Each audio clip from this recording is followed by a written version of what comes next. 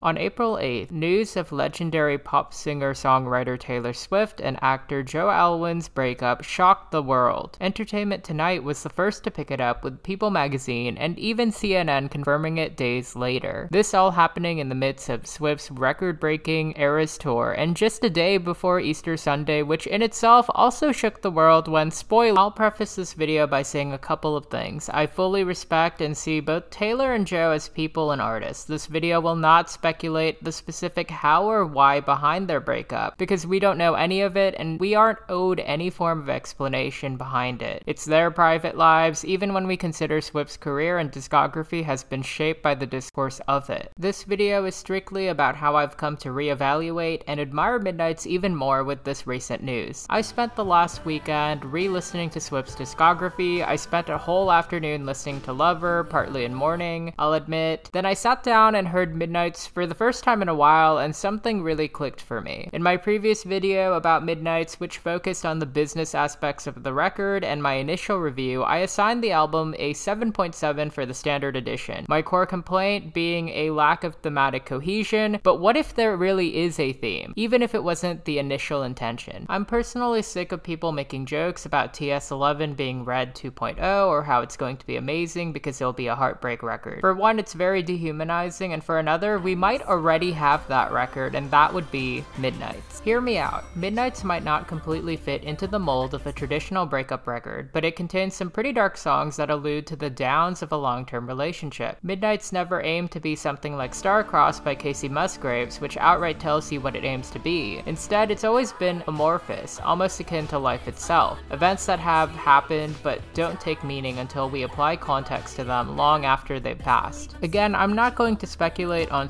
specifics, but let's evaluate the lyrics and the themes found throughout each song on Midnights from the lens of a breakup narrative. I argue that even the romantic songs on the back half of the standard edition contain a bittersweetness to them that backs this reading. From this point onwards, we're not talking about Swift per se, but rather the narrator of Midnights as a fictional character with their own arc. Like how some people have personified Reputation as a person when discussing the album, we're gonna do the same to Midnight. Oh, and we're not using any of the 3am tracks either, I love them, but this is a re-evaluation of the standard edition. I noted in my first review that Lavender Haze sounded like a sister to I Think He Knows sonically, but when we look at lyrics, particularly the verses, they don't seem as romantic as its counterpart. Verse 1 paints a picture of a narrator whose partner seems closed off and disaffected rather than understanding and open. The pre-chorus in the songs contradict this reading, but the chorus itself speaks less about a relationship and more about the expectations behind it. Taylor herself described what the phrase lavender haze meant to her. I happened upon the phrase lavender haze when I was watching Mad Men, and it turns out that it's a common phrase used in the 50s where they would just describe being in love. You were in the lavender haze, then that meant that you were in that all encompassing love glow. Theoretically, when you're in the lavender haze, you'll do anything to stay there and not let people bring you down off of that cloud. I'd like to emphasize the last part about how you'll do anything to stay there and not let people bring you down off that cloud. The 1950s shit clearly refers to traditional marriage and maternal roles. It's also a play on the eternal Madonna whore complex every pop star must confront. Something continued in verse 2. The bridge plays with the idea of maintaining this lavender haze at all cost, where love is treated as a spiral, which even satirically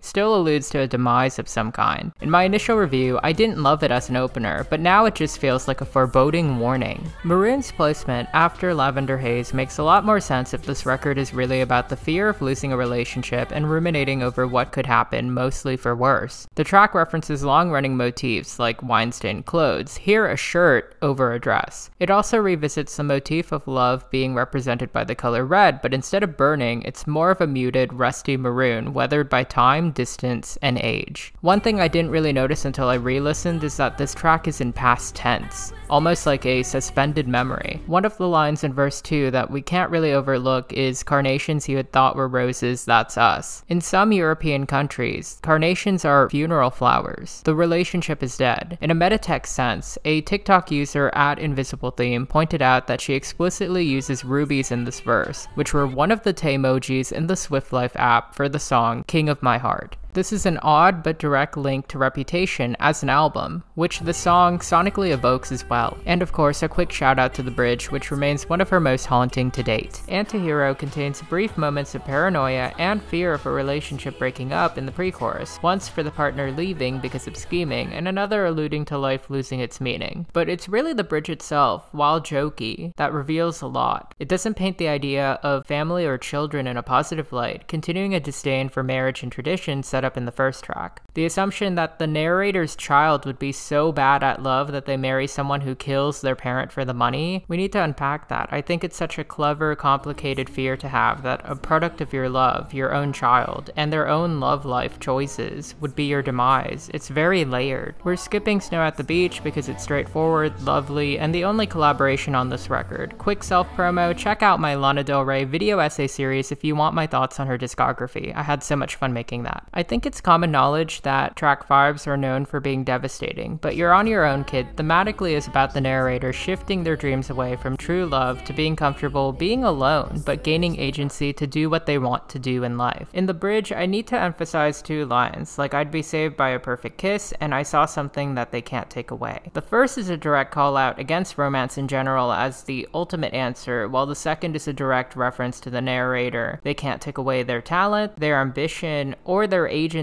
A secondary theme that I noticed in Midnights is the emphasis on agency. The idea of agency is very tricky to talk about, not just from an individual sense, but particularly in a relationship. Oftentimes, you need to sacrifice parts of your agency in order to maintain a happy relationship. So, what more if you're not happy in your relationship? The most obvious direct breakup song on this record is Midnight Rain. The song itself being about the narrator and their ex wanting clearly different things. I mean, the hook, work he wanted a bride, I was making my own name, a direct callback to Lavender Haze, but with the breakup angle, the song, which almost seemed random on release date, makes all the more sense. Even more damning is while the record has no title track, this happens to be at the center of the standard and contains the word midnight in its title. It's the closest thing to a title track on this record, and in my view, could be viewed as a thesis statement for the record, especially now. Question being track 7 and the climax, if we put the standard version of the album on a plot diagram, reinforces this idea. It's yet another song about, you guessed it, a dead relationship. While it does sample Out of the Woods from 1989, the song details miscommunication, which seems to have doomed the relationship. Whether the song is about the narrator's current breakup or one from way before is irrelevant, these questions are eternal. In the bridge, the song poses some pretty deep hypotheticals, but it's a song from someone who wonders if their former lover has as many regrets as they do. Some have tried to tie it to Betty's POV from Folklore, and others try to tie it to 1989's narrative, and there are a few of you who have tried to tie this to Fearless's The Way I Loved You, which really does speak to how Midnights really is a crystallized meditation of career long ideas and themes. We'll skip over vigilante shit, which I did say in my last review would kill on tour, and it does.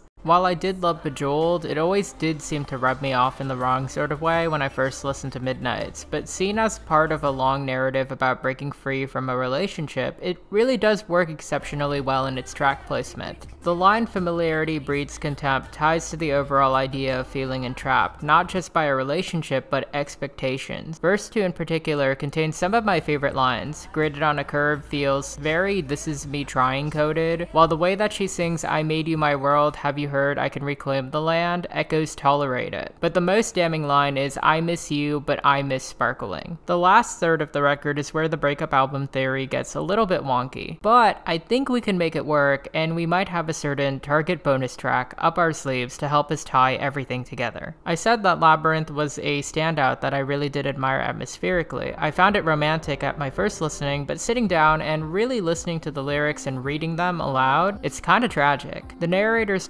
traumatized, starting the track as if they're talking about a panic attack. They also bring up their fear of elevators, then even compare the act of falling in love again to a plane going down. The only solace is the question how do you turn it right around at the end? The act of comparing their mind to a labyrinth, essentially a maze meant to contain the Greek mythic beast, the Minotaur, it's very heavy. One line that I do have to call out is how they'd say that their muse would break their back to see them smile, which poses as a romantic sacrifice, but you need to consider the toll that it takes on both ends of the gesture. The production of the song itself is glitchy and haunted and ends abruptly. So, did either lover truly escape the maze? Next, we have Karma, which we're going to skip over. Great tour closer. Let's just interpret that Karma is not her literal boyfriend in the chorus, but metaphorically her boyfriend, someone who loves her. Sweet Nothing was one of my initial standouts and still is. I debated not analyzing this one from the breakup perspective lens, especially since it's co written with Joe, but I think we can glean some pretty cool observations that tie into the other songs on the record. Again, quick reminder we're looking through Midnight's, the narrator's POV. I honestly think that the chorus itself could play into the themes of Midnight Rain with the lines, All that you ever wanted from me was sweet nothing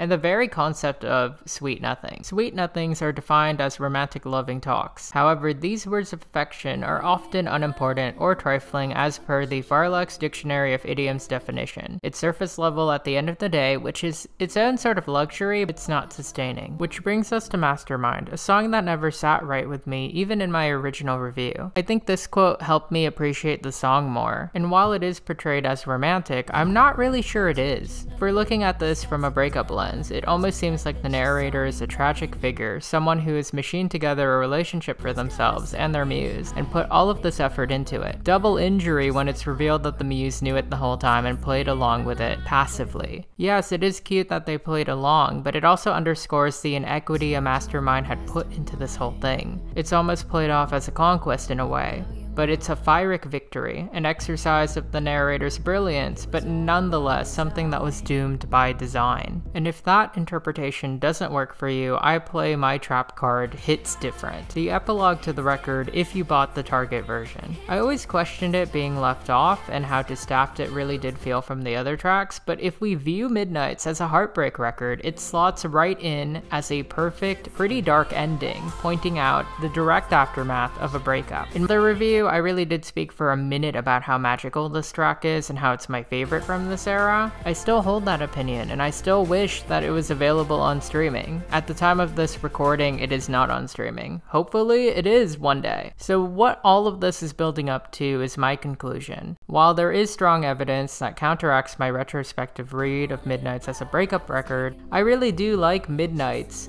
the standard version in particular, a lot more than I did the first go around. Viewing it as a meditation on the grief of an impending breakup of some sort, whether that's from a person, a vision of your own life, or the expectations others have of you, gives it a very solid theme that may have been there the whole time, hidden in plain sight. I'm glad to award the standard edition a new rating of 8.5 add an extra 0.2 if we're talking about the target version. Quick reminder that this is just my opinion, but I did want to share my reinterpretation of the record. It's unfortunate how I arrived to this conclusion, though I may be projecting my own thoughts looking back on my own breakups as well. But I do hope that if you stayed this long, maybe I've given you a new way to look at this record if you didn't like it the first go around. Maybe Midnights was a breakup record this whole time. And that's a wrap. Thank you so much for watching this video, and uh, feel feel free to fight me in the comments section if you disagree. I'm okay with that. Like, this is kind of like a hot take. I've been seeing some people on TikTok also make this take, but I wanted to elaborate